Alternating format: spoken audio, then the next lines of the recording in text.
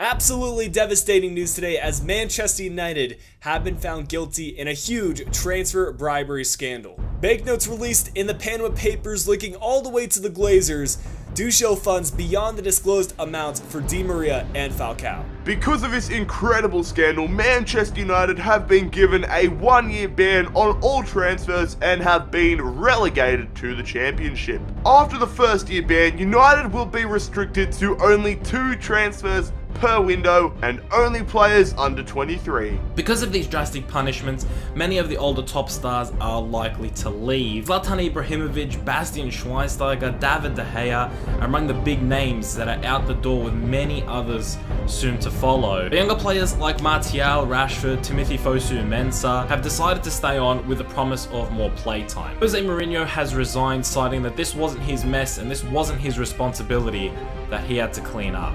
With the potential loss of hundreds of millions of dollars, the Glazers have decided Manchester United are no longer worth the hassle and bad publicity. They have decided to sell the club to a Chinese billionaire playboy named Rex Fang. Rex Fang made his Chinese fortune by creating a Chinese fortune cookie dynasty. In his first statement, Rex said that he will do what most handsome Chinese billionaires do when they buy a company find the people who know what they're doing, and let them keep doing what they're doing. His first appointment was to find someone who really knows and loves this club, someone who can bring them through troubling times. And with that criteria, Rex felt like there was only one man for the job. Ryan Giggs has been appointed manager of Manchester United. While club to club transfers are banned, signing non club youth prospects is still allowed. Rex Fang has thus put all their resources into developing a world-class youth academy system. His hope is that the youth development combine the bright youth talents of Martial, Rashford and Fosu Mensah can bring about a new golden generation for the club and hopefully rise from the ashes like a phoenix. Rubber damps to Mr. SparringDK for that lovely, lovely intro right there. Links to his series, which is very similar. He's doing it with Bayern Munich right here. Links to that and to all the other YouTubers that participated in that intro in the description down below. Check them all out. Now, guys, let's go ahead. Let's get it. Let's get to the task at hand and the fate of Manchester United, who have been cruelly ousted from the World Footballing stage, relegated for their actions, for the foolish actions by the Glazers, now relegated to the championship. But Rex Fang has taken over, and he does not plan for Manchester United to stay there for long. He has appointed Ryan Giggs as the man, the man of choice, the chosen one that will lead us through these turbulent times. And what we have right here, we do not have the firepower. A lot of the big names have left.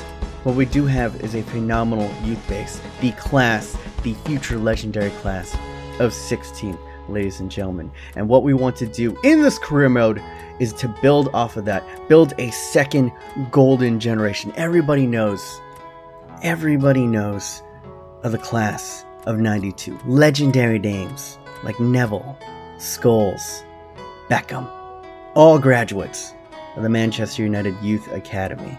And now, with the likes of Timothy Fosu Marcus Rashford, names that have came through our academy, I have hope that a second generation is on its way. We might not be able to sign any big names. What we can do is we can dedicate 100% of our current resources into scouting and finding the best talents from all across the world, putting them into our academy. Names that you've never heard of, but you soon will. We will scout them. We will nurture them. And when the time is right, we will bring them onto the world footballing stage. And you will all be witness to the class of 16. And if that gives you the tingling, I need you to take your hard supple nipple right now and smush it, smush it hard, right into that subscribe button. And if you're already subscribed, go ahead and hit that little bell thingy on your YouTube app to be notified of every single episode that comes out right here because I need you. I need you guys. Every single one of you guys are going to be my scouting network. Now, right now, we cannot transfer anyone in in this first season, but in the second season, we are allowed to bring in players under the age of 23, but only two per window, which means we must be extremely, extremely picky on who we bring in. So right now, guys, if you have any suggestions on players who are under the age of 23, leave it in the description down below, and I will profile every single episode. I will profile one of you guys and one of these talents that we should be bringing in. At the end of the season, we will go ahead and vote on which players that we need to bring in. Now, the one stipulation of Rex Fang, the billionaire playboy and rather, rather handsome lad, was we go ahead and we post up a scout in his homeland. So we went ahead and did that 5 star, 5 star over to China looking for physically strong players for 9 months. The reason why we're doing physically strong is, well, you can ask the masters of this type of career mode. Cutzy Gaming and Mr. Bama Striker, along with DK, are some of the best people doing YSL on YouTube. Go ahead and check them out. Now, the second scout that we went ahead and posted up, of course, we're gonna, come on, we're Manchester United. The class of 92, a lot of those players were English based. We're posting it up in England, nine months scouting, any five star, five star scouts. Hopefully, we can, you know, find the next Beckham and whatnot. Now, for the last scout, this is where I need you guys. This is where I need you, bunch of weirdos, to go ahead and check. Guys go ahead and help me out right here. Where should I be putting this last scout? You know, France has been looking very, very strong. Germany is a world power. Or do I go overseas, ladies and gentlemen? Scout Argentina. Maybe find the next Messi. Maybe find the next Neymar in Brazil. Maybe find the next Suarez in Uruguay. I'm going to go ahead and be posting it right here. A list. I'm going to be posting it on the YouTube cards right here. Go ahead and vote. This will be your first voting right here. And tell me, I'm going to list a whole bunch of countries. Where should I be posting up? Now, for now, I had to go ahead and record this video. So I'm only going to put a short-term, you know, scout right here. Three months, our five-star, five-star scout is going to be scouting in Portugal looking for physically strong. Hopefully, we can bring on the next Cristiano Ronaldo. Now, that is just for now. Just for now, guys. And you might be saying, well, three months.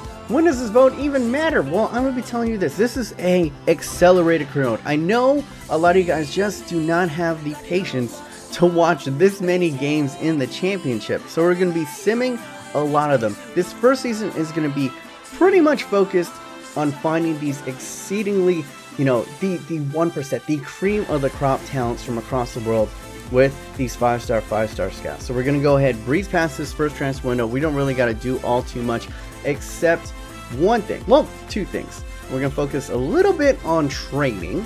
And the second thing is we're going to focus a little bit on loaning out our players to get them to their maximum potential. Now you might be like, wait, what? What are you even talking about? There is such thing that has existed in career mode for quite a long time. I'm not the one who found it, but it's called the loan out glitch. It still exists in FIFA 16 career mode. If you go ahead and you loan out certain players, well, pretty much you can do it to any player, regardless of age, but if you loan out players and bring them back, on occasion, they will come back with a higher potential than when they left. Pretty, pretty interesting stuff right here, but more on that later. Let's go ahead. We've advanced it one month. We've sent out those scouts, and now we get to see and reap the rewards. This is what a lot of the first you know, first season episodes are going to be about. We're probably going to be skipping ahead three months at a time, and you get to see three rounds of the scouts that we got here. Now, we it isn't the most promising. We did get this one player right here, 70 to 94 potential, but the other guy's 86. I'm sorry. It's just not going to cut it. I apologize. Now, let's go ahead and take a look at what we found in England utter shit. 65, not gonna cut it. 67, not gonna cut it. 88, alright, maybe we'll take a look. We'll go ahead and scout him for a little bit longer, but 60 and 74, not gonna go ahead. Not gonna go ahead and cut it. We might have found a nice little defensive player in um, Wabara right there. Now, onto the final homeland of handsome, handsome man Rex and China. It's not looking good. It's not looking good. It wasn't that expensive in China. The thing about Chinese is, at least it's cheap. It might not be good for you, but at least it's cheap. and maybe, maybe we'll go ahead and look at Wuhan Pan, uh, maybe in a future date. 86 potential overall. We'll go ahead and see how he works out. Let's go ahead. You might have been yelling at me. You might have been yelling at your screen already. It's like, why the heck did you not train at all in that first month? Well, once again, thanks to, to Bam Striker and Cutzy and the lot. They have found out that you can actually stunt the physical growth of actual players if you overtrain them in a month. So I do not, I repeat, I do not want to train a lot of these players more than once a month. And even then, we could actually glitch it. So the people that you want to be risking that stuff with is probably players that are really uh, are already pretty well developed in physical stats like Marcus Rashford, Martial, Memphis Depay. But you know, if you don't want to do it, we especially don't want to do it in the youth academy players that we're bringing in. Now here is what I'm talking about, the loan out right here. We went ahead, we loaned out McNair, and right as you can see right there, we brought him back. He was originally at 1 million, and then when we brought him back, he comes in at 1.2 million, which means that now his potential is upgraded, ladies and gentlemen. And yes, there is going to be gameplay. We're going to be simming a lot of these matches right here. But here's the next thing that I need you guys to vote on. We've held onto three players. Three players that I believe in my heart of hearts would not leave, would not desert this sinking ship in Manchester United, even if something this drastic would happen. And that, of course, is the captain, Wayne Rooney, right there. The second older player that we're going ahead and hanging on to is Mr. Ander Herrera, and the last one is Chris Smalling. Now, all these guys are over the age of 23. That's kind of the criteria that I have on this team. I feel like any player under the age of 23 wouldn't mind going ahead and hanging on to this team. They're going to stay with this squad because they want the playing time. And look at this. This is how we're going to freaking start it off. Boom. Timothy Fosu-Mensah announcing announcing that Manchester United are going to be fighting, clawing, and scratching their way back to the top. Now, the goal for this series, FIFA 17, is right around the corner, ladies and gentlemen. I'm making no qualms about that. I don't think we can capture Champions League in the time before we have FIFA 17, but with the likes of this, with the likes of Tans of Anthony Martial, now onto the ball, absolutely rinsing through their fence, running through, and it takes a miraculous save from the keeper right there of Blackburn to keep Anthony Martial out. I think with some of the talents that we do have, like Fosu-Mensah coming in through here, like Marcus Rashford, like Memphis Depay, that we can go ahead and probably win the Premier League. That is the goal for this series. I'm thinking, you know, two, maybe three seasons, we will go ahead and have to see. It depends on the likes of the talents that we get and the transfers that we go ahead and bring in. Now let's go ahead and focus in. What can we do with the squad right here? You took a look at it. What do we need right here? Because I think attacking wise, we're pretty good with our front three. You got the likes of Mr. Marcus Rashford, you got the likes of Anthony Martial, and you have the beast right here, Memphis Depay. Hopefully we can bring a lot more out of him than Louis Van Gaal got out of him. Now in the midfield, it's a little bit it's a little bit weaker if you minus some of the older players. Now we do have Ander Herrera. We also do have the likes of Mr. Wayne Rooney that we can play in the midfield, and there are beautiful use, like right here, Andreas Pereira, who hit a magnificent shot, guys, a magnificent shot over the weekend in the friendly against Wigan. And the likes of Adnan Januzaj is still on the squad. Defensively, though, you know, uh, some talents right there. Some talents. We have Timothy Fosu-Mensah, Poole, um, Varela, Luke Shaw, of course, returning from injury, and of course the lovely, lovely Bosworth Jackson. Good stuff. And keeper, keeper, we have Sam Johnstone. So I'm not totally sure. Keeper, we're probably going to be looking to upgrade, but we'll see how it fills out, and we need depth. Depth is the issue right here. We have a little bit. We have Adnan Januzaj and Lingard that can come off of the bench and we have good quality in our first team, but beyond that, I don't know where we go, guys. I don't know where we go, and it could be shaky at times. We only up in this game. I mean, we had, you saw, we had a lot of opportunities, but with the lack of quality overall in the team now, we weren't being clinical with our chances right here. Marcus Rashford, good going ahead, ceiling right here.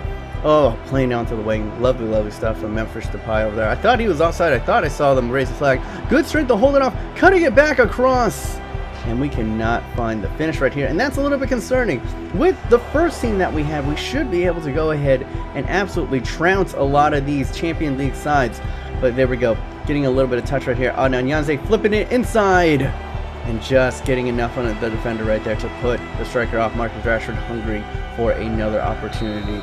And that would be it guys for our first game. A little bit of review. I wanted to see what we were working with. I actually had a lot of fun in this match. Domination defensively though. Only two shots and one shot to them compared to our five shots on target and 11 shots in total. We're going to go ahead and train them a second batch in this month and that'll be pretty much it. Now of course, since we are doing youth scouts, I wanted to go ahead and get a scout a future star. But unfortunately, when I open up my stuff now, uh, you know, I'm a minor internet celebrity, I guess. Or I have one really devout fan, and a lot of you guys have been sending me uh, a lot of these like uh, financial takeovers and scout future stars. I must ask, please, please don't send it because it could possibly ruin a future career mode for me. So we're gonna go ahead and scout a future star of my own right there, pay for it, and hopefully we get someone back who can be absolutely tremendous to this second golden generation that we are building right here. And as I said, we're to be blaring past it. Now I'm to end it right here. I'm not going to end it right here. I'm going to be ending it pretty soon. Uh, right before the transfer window ends because I want to go ahead and ask you guys do you think do you honestly think now now you know take your homerism aside Do you think that if this were to happen, do you think the likes of Wayne Rooney, do you think the likes of Ander Herrera, do you think the likes of Chris Smalling would stick around? We're going to go ahead post a second one right here. Go ahead, ding, and we're going to vote for Wayne Rooney right here. Do you think that Wayne Rooney would stay through these turbulent times right here. And we're going to be voting on the other two later in this episode. Now, the second match up against Derby. Derby, it's been a little bit tragic these past two seasons, let's be honest, but they are, I wanted to go ahead and play them because I think they're one of the closer teams in the championship to an uh, to a Premier League worthy side right here. They're currently playing, Uh, you know, in the championship. And now, as you can see right here, it wasn't that great. We were trying out a lot of different players. Varela was actually really tired from the previous match. And this is what I'm saying. Depth is the main key. We need to start bringing in a lot of these youth players right away. We're playing with a lot of 57 rated, you know, 60 rated players, but hopefully we can somehow manage. Now, Adnan down is a beautiful scoop turn, digs it in right there, and Grant forcing a good save. But then, oh, look at the bicicleta for Anthony Martial, but uh, not too much power onto it, only a dribbler right there. But I like the audacity, I like his moxie. Now Lingard into it, can he blast one from distance? Oh, singeing, singeing the outside of that post right there. You could hear the tings for miles. And now, look at this. Good stuff, good stuff from Derby. Going ahead and trying to go, like they're going to go whip this one in. And Martial is good right there. And a cagey, cagey first half. Not all too much happening. Now Marcus Rashford onto the ball, using a bit of pace right there. And now laying it off to Martial. Good, quick passing. Adnan going ahead and seeing Luke Shaw on the overlap. What does he do? He cuts it back inside. Good patience up. Gives it to Lingard. Fakes it to the inside. Goes to the outside. Fires a shot with his left foot. Great close. Oh my god. Great close dribbling right there. Close control dribbling. And look at this. Great patient play. Could have fired, you know, the triple tap cross across the bow but didn't really see any, you know, powerful. No one really streaking into the opportunity. Lingard going ahead, being patient with it. Good, tricky, good dribbling in close, confined spaces right there. Gets himself a lovely chance. And there we go. We find the breakthrough finally through Lingard. Kind of forgotten, man. I didn't even mention him for the FA Cup winner. The man has potential. This is what this career mode is all about, guys. We've already done it. If you wanted the big games, if you wanted the Messi's, the Ronaldos, if you wanted all those big boys, we did that already. We did it. Go ahead, check out that. Check out my Jose Mourinho career mode. Links down below. But this is it, guys. We are profiling we are going to be bringing on this beautiful, beautiful generation of youth right here, and we're going to be finding new names. Nobody knew. Nobody knew who Marcus Rashford was at the start of the season. We just knew he was some kid in the youth academy system, if you knew that. But now, we're bringing on the next Marcus Rashford. We're going to bring on the next Memphis Depay. We're going to be bringing on the next Anthony Martial.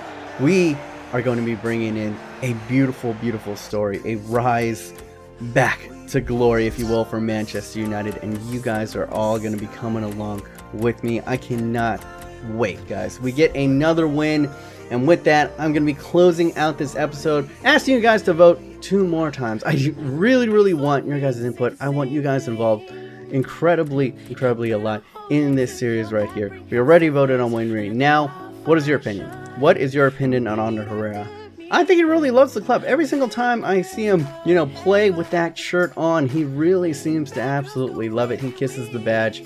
26 years old though, 81 rated overall CM. Do you think, do you think, in your heart of hearts, would Ander Herrera actually stay here at the club? And the second one we're going to be going ahead and asking for is, do you think Chris Smalling, one of the better center backs in the Premier League, would he stick around, man? It seemed like you know, he's had some rough times at Manchester United, but he's weathered the storm and he's become a phenomenal, phenomenal defender. Still, you know, makes the occasional mistake, but I still, you know, which, which defender doesn't, you know, get made silly every once in a while? I really do feel like he is one of the best defenders in the world. So go ahead, vote. Do you think Chris Smalling would stay at Manchester United in these turbulent, turbulent times?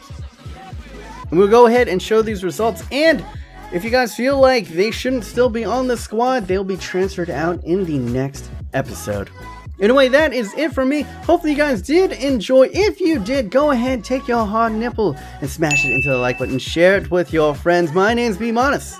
Hopefully you guys are having a wonderful day. Remember to stay yourself. Stay humble. Be weird.